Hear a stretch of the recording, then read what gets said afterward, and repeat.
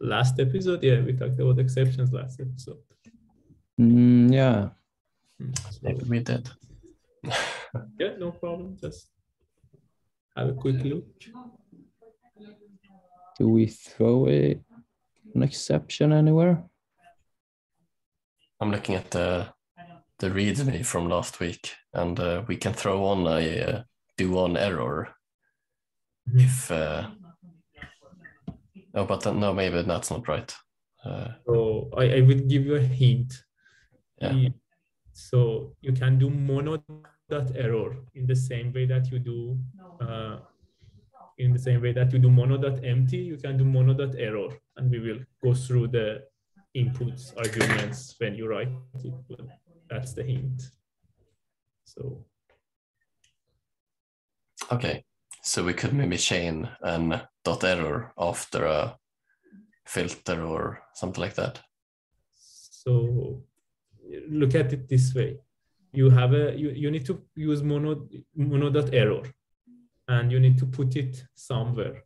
And that somewhere is related to what we have today. So if you go through the APIs that I talked about today, one of them gets a mono. Oh yeah, the switch is empty. Switch if empty. Mhm.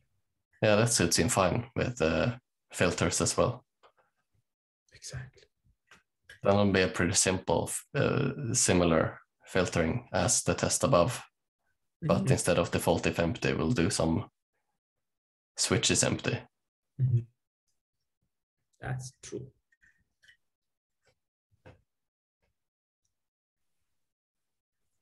I guess we want to assign it as well. Nej, utan vi har kärnbollen. En för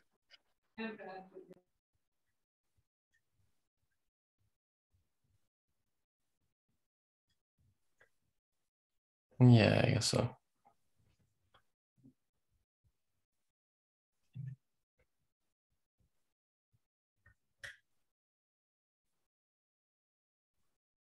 A name big enough fresh fish.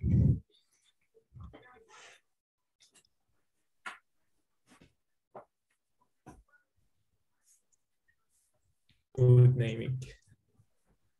Or should you indicate that it is a mono somehow? No. it- are, I, I'm not sure. I never learned that part myself, but the fact that you made it a specific mono, that's good. Then you just read the name and you don't need to read the rest of the code. In terms of reading, readability. Yes. So the switch is uh, if empty. Sounds suiting. Yeah. And in there we can just uh, call uh, mono.error Mhm. and we'll see what it needs from us. Exactly. A throw. Mhm. How fitting. Uh, new not found exception, maybe. Oh, there's a prepared ex- exception for us. or is that just our test? No, that's our test. Maybe. Ah. We're going in circles. Yeah.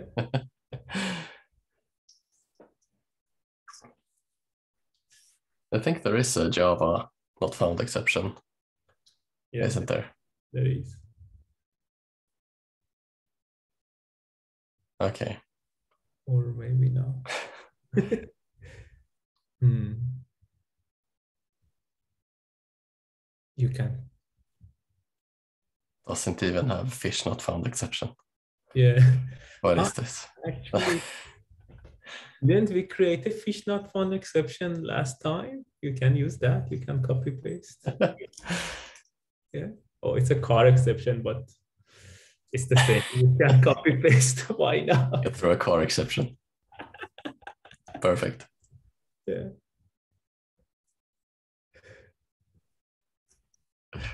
Yeah, let's uh, rename it. We always care about cars.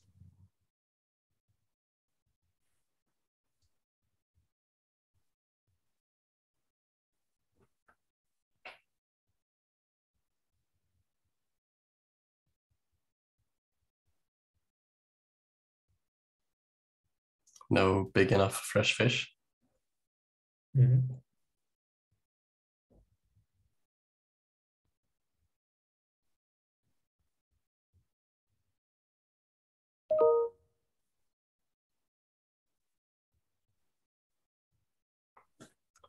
All right. What is it saying about the switch is empty? Switch if empty. Never used. Okay. Because you never used your mono. Hmm. I think. So what's the next step here?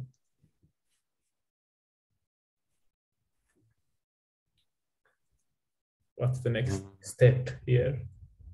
So if that one throws, will it be contained within our mono variable that we assign it to? Or So what you're doing here is that you have a, a stream of fish and it becomes empty. It might become empty. And if it becomes empty, you would interchange it with a mono of error.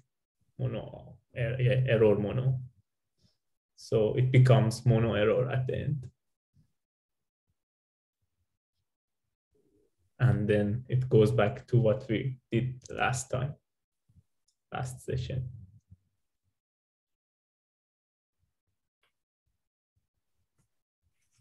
All right. Now we Who need to want to verify this? Yes, exactly. Yeah. okay. in the same way we asserted errors last time. All right. So then we can have a step verifier created from our uh, big enough fresh fish.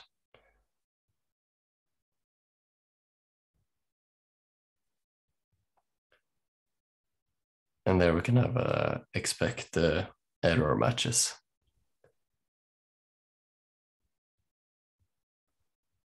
Or something like that. Yeah. Mhm.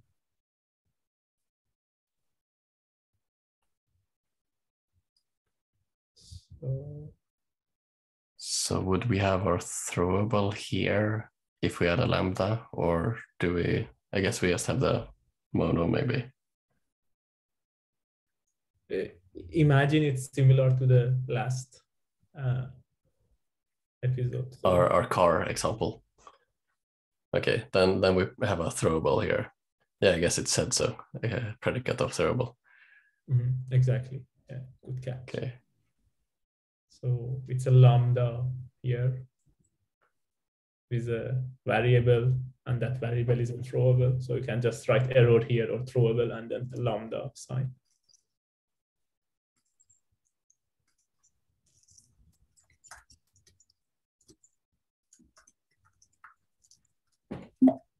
And what was it?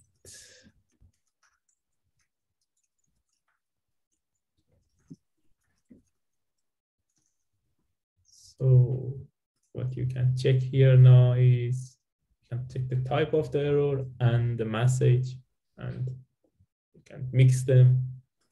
In this case, just write something that is good enough.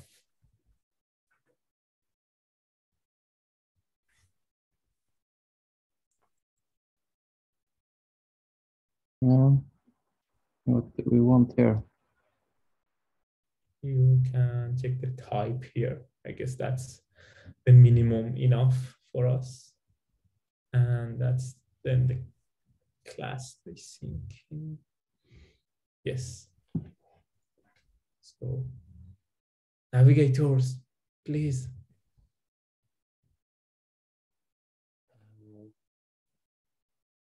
Yeah, continue that path.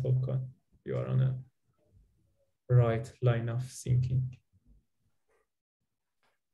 Should we check that it's an instance of fish not found exception, or Hmm. or how do you how do you verify classes?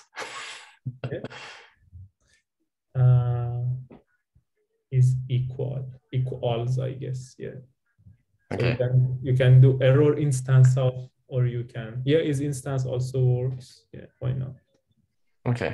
Or you can do error dot class dot equals, and then input would be file not, no, fish not found exception dot class. Let's try this. Yeah, let's try. I never used this is instance, so let's try it. And then need to I haven't used that one either. Uh, I'll try the just instance of keyword. Uh, Hmm. This one you what kind of object would it want here?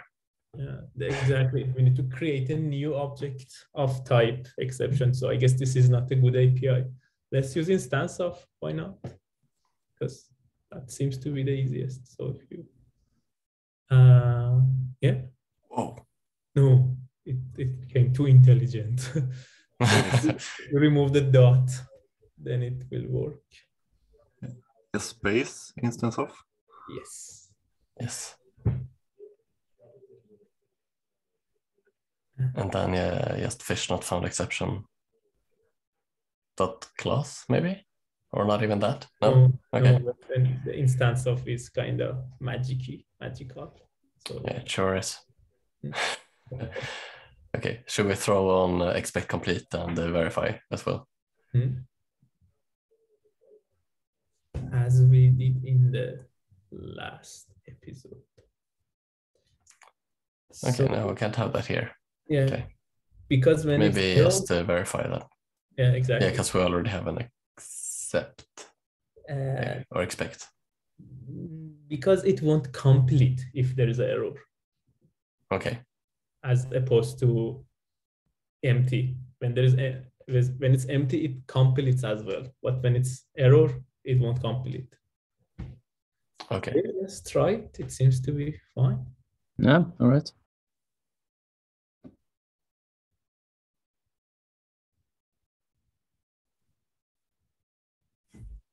Lovely. Yeah, that's it. So let's move to the next one. Patrick, please.